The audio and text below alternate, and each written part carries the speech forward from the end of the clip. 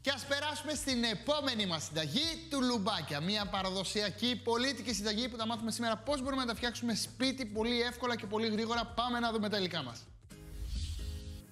Για τα τουλουμπάκια θα χρειαστούμε για το σιρόπι 400 γραμμάρια νερό, 600 γραμμάρια ζάχαρη κρυσταλλική, χυμό από μισό λεμόνι, ένα στικ κανέλας και δύο κουταλιές της σούπας μέλι.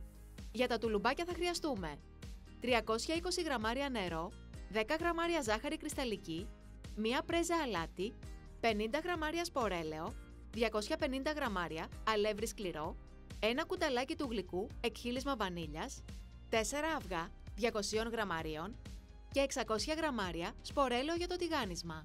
Για το σερβίρισμα θα χρειαστούμε φύλλα δυόσμου. Τα τουλουμπάκια τι έχουν ως χαρακτηριστικό φίλε Διονύση; Δεν είσαι εδώ. Άμα ήσουν όμως εδώ τι θα έλεγες; Το σιρόπι. Μπράβο. Άρα πρέπει να κάνουμε πρώτα το σιροπάκι μας και πρέπει να τα αφήσουμε να κρυώσει καλά. Βάζουμε το νεράκι στην κατσαρόλα μας και επειδή τα τουλουμπάκια έχουν αρκετά πηχτό σιρόπι, αρκετή ζάχαρη. Και γι' αυτό το λόγο πρέπει να τα αφήσουμε να κρυώσει πολύ καλά για να τραβήξει περισσότερο σιρόπι μέσα στο τουλουμπάκι. Θα προσθέσω μέσα λίγο χυμό από το λεμόνι, γιατί επειδή έχουμε ένα σκληρό σιρόπι, έχουμε ένα σιρόπι που έχει αρκετή ζάχαρη, πρέπει οπωσδήποτε να βάλουμε ε, λεμόνι μέσα για να μην γίνει τι, για να μην κάνει κρυστάλλους. Το λεμόνι έτσι βοηθάει το σιρόπι μας να μην κάνει κρυστάλλους και ουσιαστικά το αφήνει ε, να έχει περισσότερη διάρκεια. Θα ρίξω μέσα την κανέλα μου και πάει πάνω στη φωτιά. Με το που πάρει μια βράση και διαλυθεί η ζάχαρη, θα ρίξουμε μέσα και δύο κουταλιές της σούπας μέλι και θα αφήσουμε στην άκρη να κρυώσει. Μετά από μισή ώρα θα ξεκινήσουμε να φτιάχνουμε τη συνταγή μας.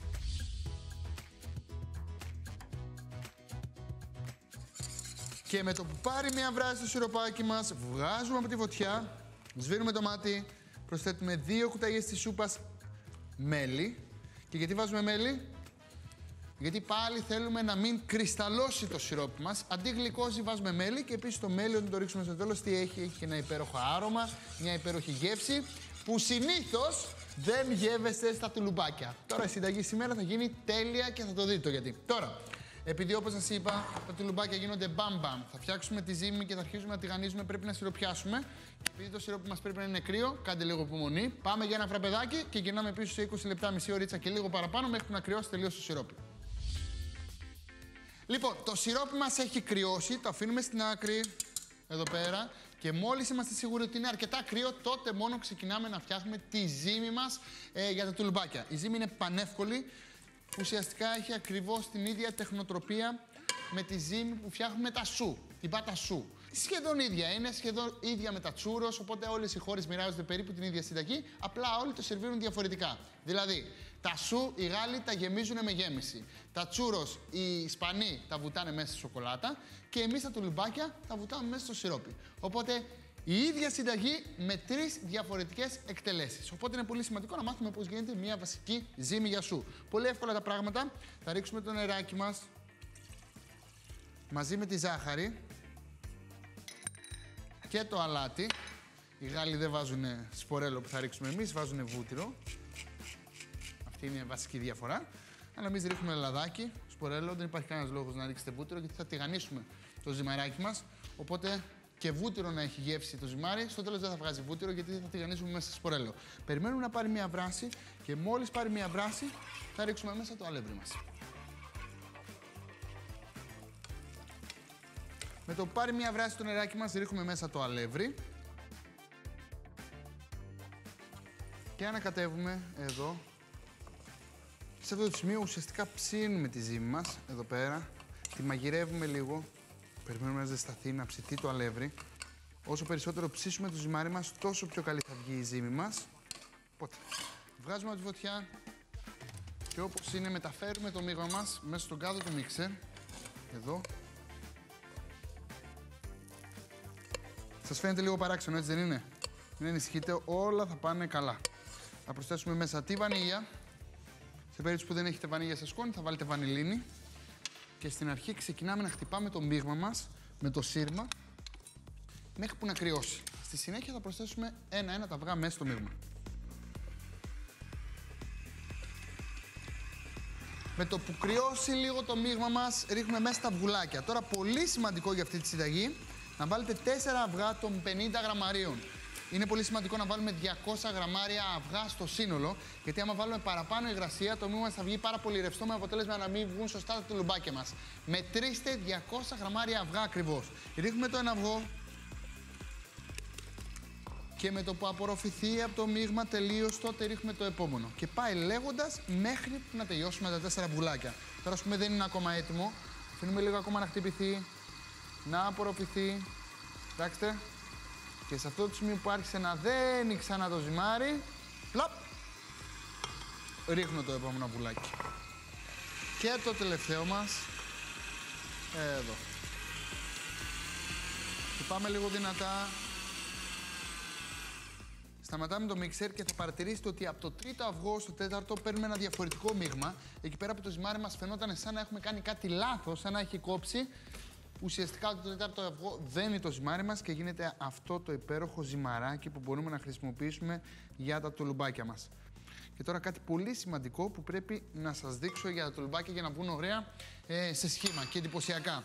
Λοιπόν, επειδή έχω διαβάσει άπειρες συνταγές, έχω πειραματιστεί με άλλες άπειρες συνταγές και γενικά μου αρέσει πάρα πολύ να παίρνω γνώση, αλλά να την εξελίσσω. Ε, αυτό που έκανα και εγώ, πειραματιζόμενος με όλες αυτές τις συνταγές, ήταν ότι προσπαθούσα να βγάλω τα τέλεια του λουμπάκια. Ε, να ζεσταίνω και το λαδάκι μου εδώ πέρα καθώς σας μιλάω γι' αυτό.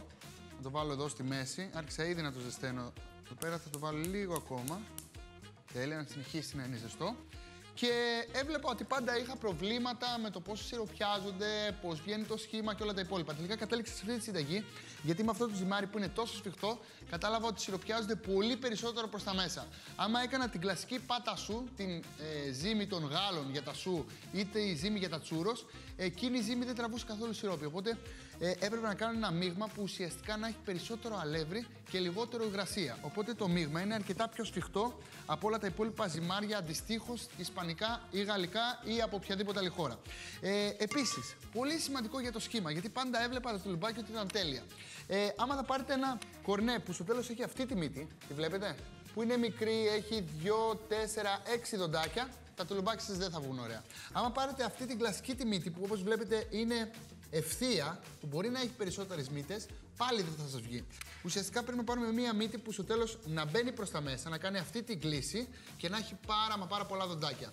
Αυτή η μύτη θα μας βγάλει το τέλειο σχήμα από τα τουλουμπάκια. Οι υπόλοιπες μύτες απλά θα βγάλουν νόστιμα τουλουμπάκια, απλά δεν θα έχουν σχήμα. Αυτή είναι η διαφορά. Για να βγάλουμε το τέλειο σχήμα πρέπει να πάρουμε την τέλεια μύτη. Το καταλάβαμε αυτό; Τέλεια. Καταλάβαμε και για το ζυμάρι; Τέλεια. Πάμε να ετοιμάσουμε τα τουλουμπάκια μας. Παίρνω έτσι όπως είναι τη μύτη μου, βάζω μέσα θα σας πω ότι οτιδήποτε θέλετε από ζαχαροπλαστική σίδη και όλα τα υπόλοιπα στο e-shop μας τα έχουμε όλα. Είμαστε ωραίοι τύποι και μαχαίρια, ξυλακοπής, ε, τηγάνια, ό,τι θέλετε στην κουζίνα σας το έχουμε αρκεί να ψάξετε λίγο στο e-shop μας. Τώρα, έτσι όπως είναι, μεταφέρω το μείγμα μέσα και καλό θα ήταν, επειδή όταν έχω μείγματα γενικά να διαχειριστώ πάνω στη φωτιά, να μην γεμίζω τελείως το κορνέ μου, βάλτε λίγο λιγότερο. Μην το βάλετε όλο, βάλτε το μισό. Εδώ. Να είναι πιο εύκολο στη χρήση, να μπορείτε να πατάτε καλύτερα, να βγάζετε καλύτερα το μείγμα και μετά ξαναγεμίζετε. Και έτσι όπως είναι το ζυμάρι μας, χλιαρό πια, δεν είναι ζεστό. Αρχίζουμε και μεταφερόμαστε προς το μάτι της κουζίνας. Εδώ. Λοιπόν, έτσι όπως είμαστε, ερχόμαστε εδώ, παίρνουμε ζυμαράκι και κόβουμε το ψαλίδι. Αφήνουμε μέσα. Συνεχίζουμε ακριβώς με τον ίδιο τρόπο. Εδώ.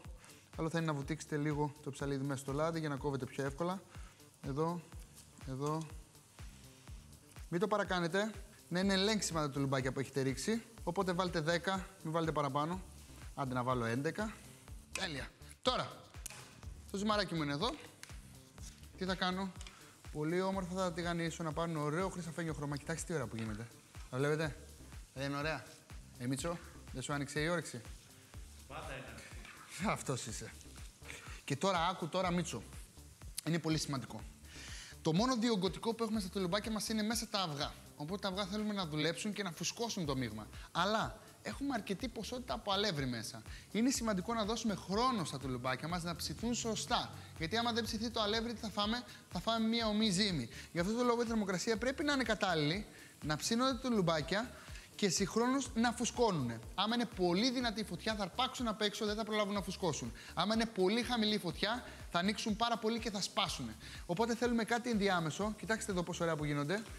Και επίσης να σου πω ότι ε, βλέπεις ότι ανακατεύω όλη την ώρα, σωστά; Έτσι, με αυτόν τον τρόπο το λαδάκι πάει παντού. Γιατί αλλιώς, άμα δεν τα ανακατέψω, έχει την τάση το ζυμάρι μας, σαν τα ντόνατς, να πάει και να κάτσει σε μία πλευρά. Είναι πιο βαριά η μία πλευρά, οπότε δεν θα ψηθεί ομοιόμορφα. Έτσι, με αυτόν τον τρόπο, ανακατεύοντας όλη την ώρα, ψήνουμε τέλεια τα τουλουμπάκια. Μια χαρά τα πάμε. Και μόλις πάρουν τόσο ωραίο χρυσαφένιο σεξι χρώμα, τι κάνουμε; Βγάζουμε και γρήγορα μέσα στο σιρόπι. Ανακατεύουμε καλά μέσα στο σιρόπι. Εδώ, Αφήνουμε να ρουφήξουν σιροπάκι. Εδώ. Περίπου 15 δευτερόλεπτα. Και τώρα, φίλε, με το που τα σηκώσεις θα καταλάβεις ότι έχουν το διπλάσιο βάρος. Οπότε βγάζουμε, αφήνουμε στην άκρη και όσο περνάει ο χρόνος θα γίνονται ακόμα πιο χρυσαφένια. Τα βλέπετε; Στην αρχή φαίνονται ότι είναι ομά και μετά καθώς περνάει ο χρόνος, κοιτάξτε εδώ, χρυσίζουν. Οπότε, ακριβώς με τον ίδιο τρόπο θα συνεχίσω και με όλα τα υπόλοιπα τουλουμπάκια μέχρι που να τελειώσει το ζυμάρι μου.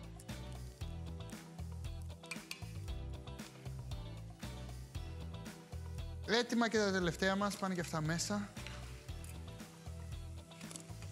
Και μετά από το σιρόπι τα στραγγίζουμε. Το λαδάκι μας το σβήνουμε, όπως βλέπετε είναι πεντακάθαρο, μπορούμε να κάνουμε και άλλα τουλουμπάκια. Λοιπόν, ρίχνω και αυτά μέσα στο σουρωτήρι και ουσιαστικά τα τουλουμπάκια μου είναι έτοιμα. Τώρα, θέλω ένα ωραίο πιατάκι για να τα βάλω. Θα τα βάλω εδώ. Μ' αρέσει πάρα πολύ αυτό. Και όπως είναι, ρίχνω τα τουλουμπάκια μου εδώ. Ακούτε πως κάνουν. Και εγώ θα βάλω ίσα ίσα λίγο δυόσμο για το χρώμα. Θα μπορούσατε να ρίξετε και κανέλα, αλλά μετά θα θυμίζουν λουκουμάδες. Γενικά στα τουλουμπάκια δεν ρίχνουμε τέτοια πράγματα. Βέβαια, λίγο σοκολάτα γιωμένη δεν θα ήταν άσχημη. Αλλά με λίγο δυόσμο από πάνω, κοιτάξτε τι ωραίο που γίνεται. Πανέμορφο και πάρα πολύ νόστιμο. Για τα τουλουμπάκια. Φτιάχνουμε πρώτα το σιρόπι. Βάζουμε σε μία κατσαρόλα το νερό, τη ζάχαρη, τον χυμό από το λεμόνι, την κανέλα και βράζουμε σε μέτρια φωτιά μέχρι να λιώσει η ζάχαρη. Αφαιρούμε από τη φωτιά, προσθέτουμε το μέλι και αφήνουμε το σιρόπι να κρυώσει. Για τη ζύμη, βάζουμε σε μία κατσαρόλα το νερό, τη ζάχαρη, το αλάτι, το σπορέλαιο και αφήνουμε σε μέτρια φωτιά να πάρει μία βράση. Προσθέτουμε το αλεύρι και ανακατεύουμε με μία ξύλινη κουτάλα μέχρι να δέσει η ζύμη.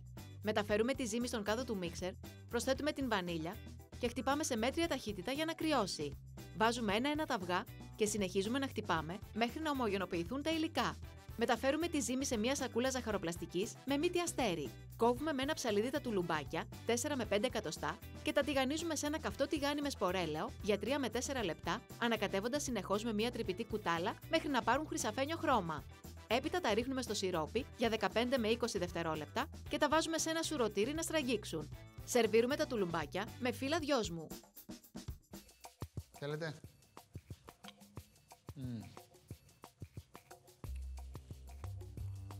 Τέλειο. Τραγανό απ' έξω και από μέσα είναι τόσο σιροπιασμένο. Είναι μια συνταγή που ξέρω ότι θα δοκιμάσετε. Οπότε δεν σας λέω παραπάνω. Μόλις την ετοιμάσετε, βγάλετε φωτογραφίες και στείλτε μου ότι γίνανε καταπληκτικά γιατί αυτό θα μου πείτε. Και πάμε να ετοιμάσουμε την επόμενη συνταγή μας.